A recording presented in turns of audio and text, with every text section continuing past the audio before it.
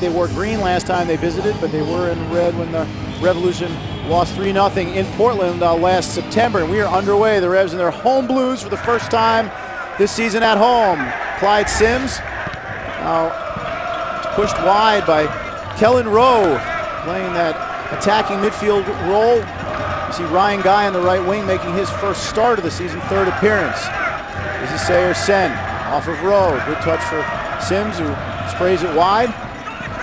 Another native New Englander. Chris Tierney with the delivery, the flick, it's in! An early goal! Saer Sene opens the account for the Revs, their first goal in 2012. What a delivery from Tierney and a great finish. Now that's a way to start the first game the, at home this year. Right within the first minute, balls down the wide. Like I said, we got to get him in early. Sends in a great, great finish on goal. The Frenchman with a terrific redirected header. He was. He's in a good spot there. Just looking at the whole time, eyeing up his lane, gets a good flick. Tierney just has a great ball. It's a great ball right in the middle, sends in a good spot. Not really marked until the last minute, just right underneath that crossbar.